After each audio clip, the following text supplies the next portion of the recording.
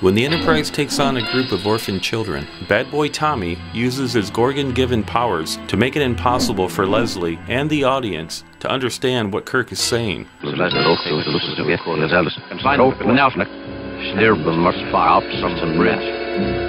That's said. Take no it was the loose system for yes. Mr. Spock after the share but out system.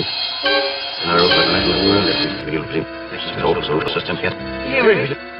But Mr. Alp system the arrow who the next will But when I reversed the footage, this is what I discovered. Remove Lieutenant Uhura and Mr. Spock from the bridge and find the quarters.